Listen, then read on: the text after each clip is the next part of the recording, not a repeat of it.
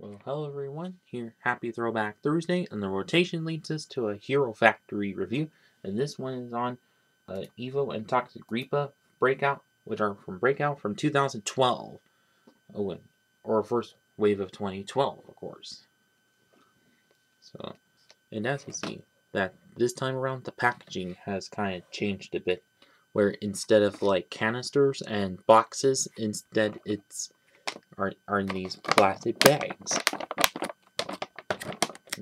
of which you have to cut the top open and then has a ziplock kind of feature. So I guess they just wanted to save a little bit on that, but in good ways, which kind of way to branch off from Bionicle, of course.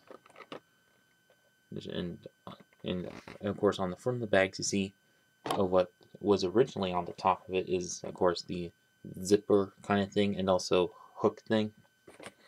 And you can see picture of the sets that come within and they're in some jungle area of which.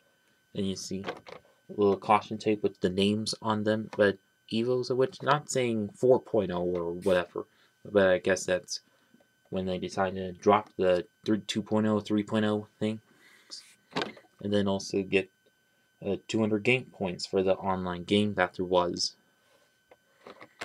and on the side of which see the age group, uh, set number, and amount of pieces, and but also this time around the age range have went from we're usually 6 or 7 to 16 and now to 6 to 12 and 7 to 14 which probably to make them feel like other Lego lines but whatever.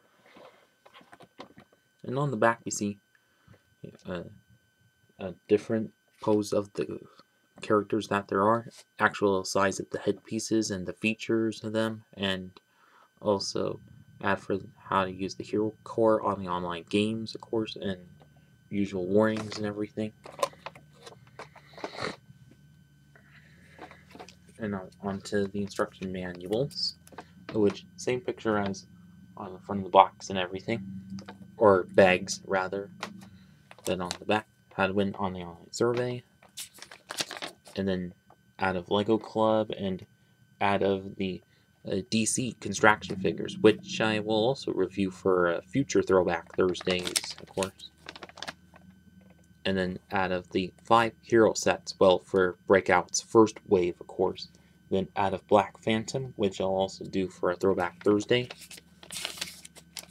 And then the combination model that the two make, where instead of two heroes, it's a hero and villain set, so which very different from the past, past waves, of course, and also gotta get the instructions online, of course, which I don't think you can do anymore, kind of a bummer, but anyways, you have the the two sets together of there, of course, and the pieces that come with it, and in the front of the manual, you see how to get the code for the online games, of course, so yeah.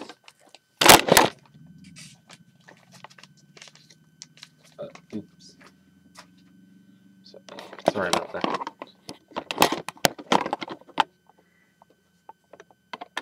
Uh, hang on. There we go. Um, also, with this wave, you get the this Lego Club application insert to which which they haven't done for quite some time until this time.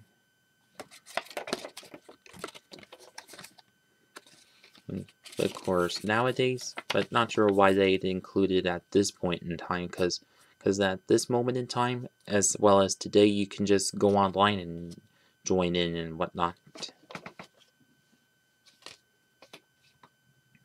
Now onto the sets, starting with Evo, of course, or as some at the time called Evo 4.0 or so.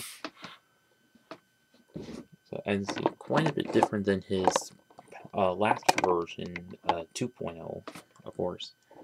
But although some stuff of which kind of the same as for Evo and Breakout, of course. Like, as you can see, the feet of which in gunmetal gray, and the lower part in gunmetal gray, of course. And although, but also back of which very barren, with except for the arms, of course since of which having guess he's I guess he since he's one of the shorter hero sets, guess they just didn't couldn't find a piece to put on the back which lowered his price point or something. But of course, this armor, which same as from uh, the 2.0 wave, of course. There's also armors of which as well. But the chest plate, which all new for Breakout, which as you see has some printed decals, like in his case is, which just a bit of like greebles and stuff, and also actual greebles put into it. And, and yes, you can attach a 2 3.0 chest plate piece on top of it. And use this as extra detailing, of course, in the as for the hero core piece, which all the sets come with, even the villain sets, but just off to the side, of course.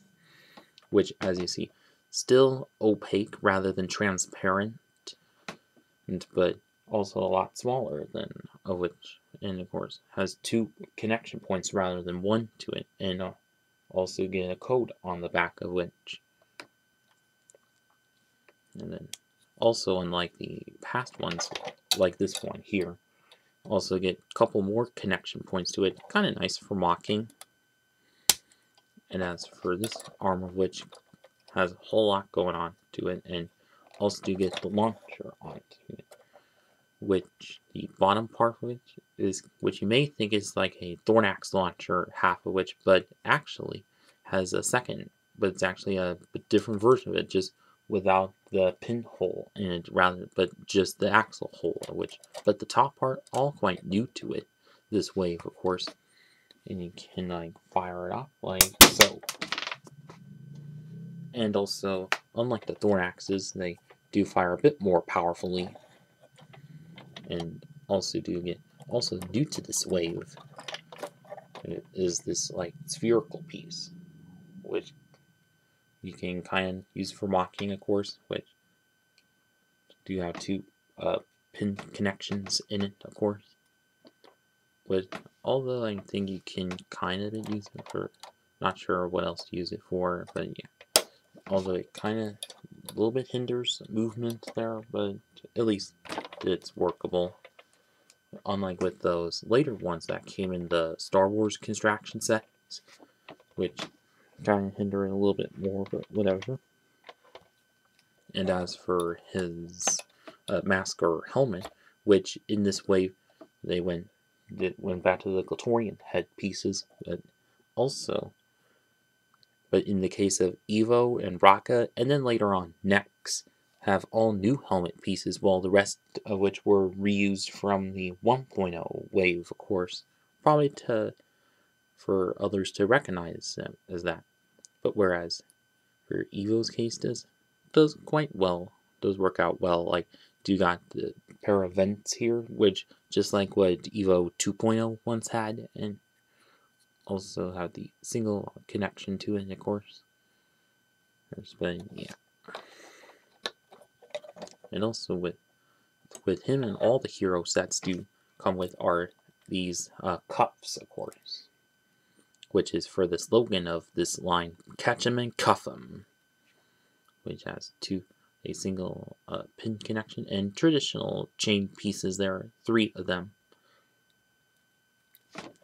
And of course, with him, you can like slot in his hands for him to hold, obviously. And you can also, and also can like put on a limb like this one and has cuffed the villains like they do in the Nickelodeon miniseries, of course. And also, just kind of like all the Barraki all had, which were the Exoforce hand pieces, but that you can use to detach, attach it onto them, obviously.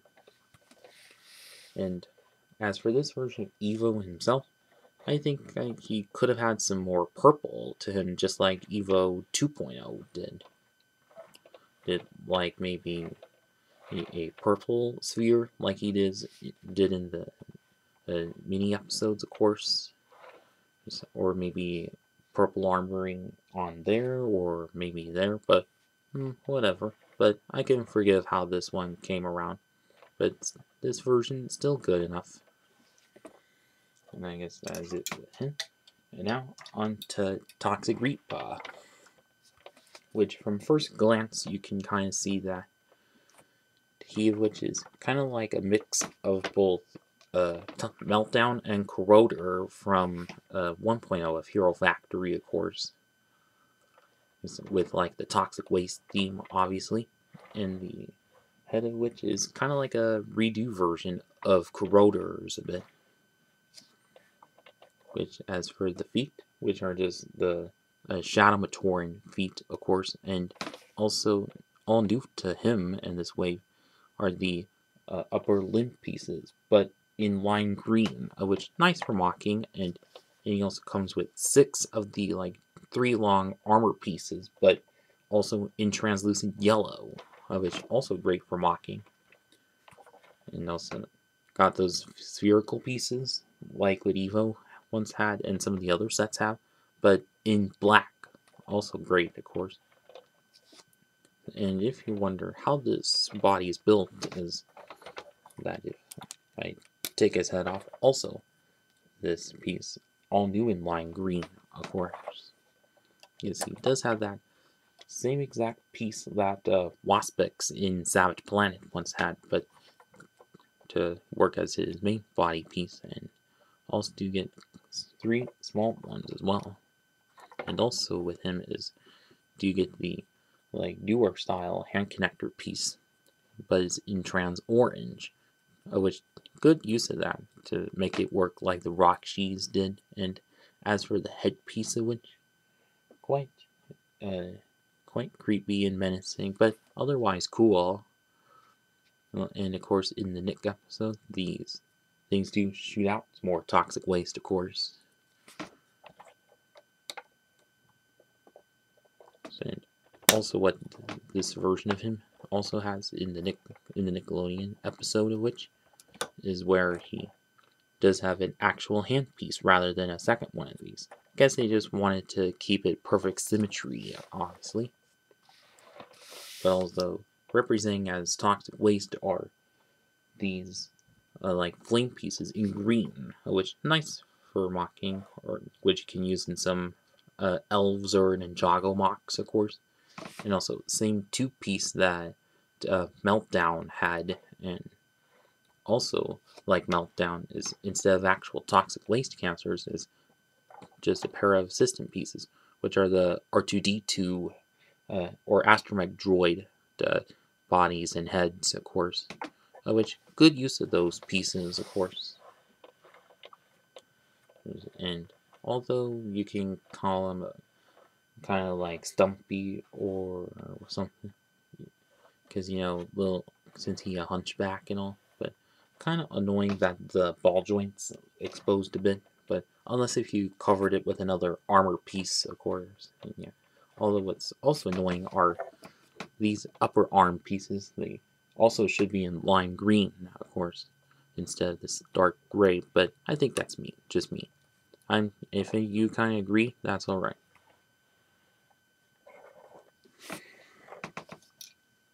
And so now on to the final verdict. So overall, these I think are uh, quite cool sets for 2012 standards, of course. Like, do get a few new pieces with both of them, and also also revisit of some toxic waste stuff with Toxic Reapa, of course, and Evo which does have some new pieces to him, but of course Toxic Reapa also does as well, and also a few good recolors of pieces. And yeah. But whereas Toxic Reapa's case, a kind of more interesting build of a build for a villain set compared to just normal hero set for Evo, of course. Although one of which said that it kind of felt like building older Bionicle sets, obviously and I'm sure you could agree with that, but yeah. And so now if you still have these sets from back in the day, well, I hope you had some good memories of them. And for those of you who haven't and still have access to these sets, I'd say definitely pick them up. eBay, Bricklink, whatever. And that's about it this video. Please like, comment, share, and subscribe. Thanks for watching.